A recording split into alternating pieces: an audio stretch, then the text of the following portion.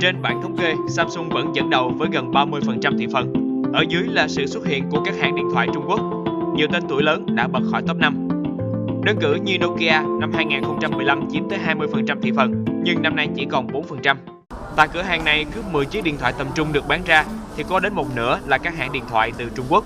Trước đây thì các bạn trẻ thường à, hay nghi ngờ và e ngại những cái tính năng những cái sản phẩm của Trung Quốc thì khoảng độ một thời gian gần đây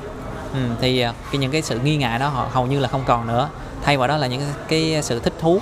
rồi họ muốn tìm hiểu những cái tính năng những cái sản phẩm mới đến từ Trung Quốc là như thế nào có gì khác biệt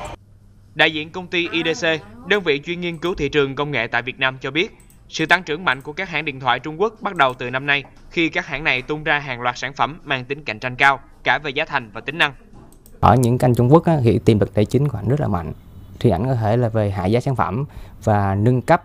chức năng cao cấp hơn cho các dòng sản phẩm của họ thì điều này sẽ gây ra một cái khó khăn cho các hãng lớn như là Samsung và Sony họ buộc phải làm như vậy và các hãng Việt Nam thì ít tên tuổi hơn nhưng muốn tham gia thị trường thì họ cũng phải cắn răng họ đi theo theo bước đó.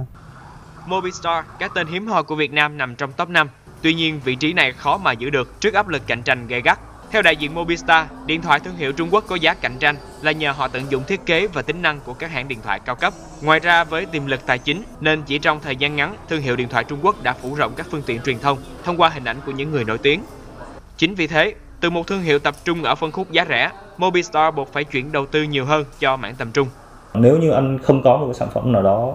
tương đồng với cái cái cái tình trạng về xã hội về vị trí về thu nhập của họ lúc đó thì họ sẽ chọn những thương hiệu kia và khi họ bỏ đi rồi thì anh rất là khó để nếu họ trở lại bọn tôi đang vẫn đang nỗ lực ngày đêm trong cái việc là đối thoại khách hàng tìm hiểu nhu cầu và có những cái sản phẩm để đáp ứng nhu cầu các chuyên gia nhận định dư địa thị trường điện thoại tại Việt Nam vẫn còn nhiều và thuộc hàng cao nhất khu vực Đông Nam Á. Bởi lẽ thị phần hiện vẫn chủ yếu tập trung ở khu vực thành thị, nên thời gian tới sẽ có sự chuyển dịch về nông thôn. Tuy nhiên, sự cạnh tranh trên thị trường sẽ không còn nằm ở giá thành sản phẩm mà chuyển dịch về trải nghiệm người dùng với sự cạnh tranh về tính năng và đặc biệt là bảo mật thông tin.